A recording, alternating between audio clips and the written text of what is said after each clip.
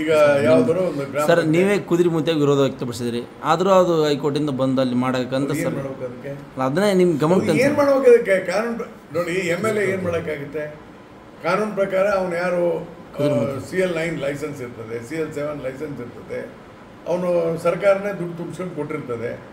ಅಲ್ಲಿ ಜನ ವಿರೋಧ ಮಾಡಿದ್ರೆ ಆಯ್ತಪ್ಪ ಕಟ್ ಮಾಡ್ರಿ ಅಂತ ಹೇಳಿದ್ವಿ. ಎಂ ಎಲ್ ಎ ಏನು ಮಾಡ್ಬೇಕ್ರಿ ಎಂ ಎಲ್ ಎ ಕೈಗೆ ಏನಿದೆ ಅಧಿಕಾರ?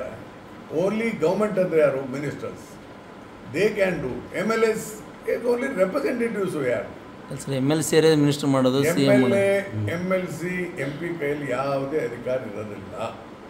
ಗೌರ್ಮೆಂಟ್ ಅಂದರೆ ಯಾರು?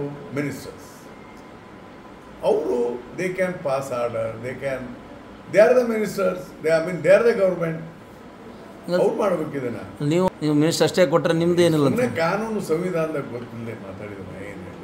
ಶಾಸಕರಂದ್ರೆ ಓನ್ಲಿ ರೆಪ್ರೆಸೆಂಟೇಟಿವ್ ನಮಗೆ ಯಾವುದೇ ಅಧಿಕಾರ ಇರೋದಿಲ್ಲ. ಭಾಳ ಅಂದರೆ ವಿಧಾನಸಭೆಯಲ್ಲಿ ಮಾತಾಡ್ಬೋದು ಅಷ್ಟೇ ನಾವು.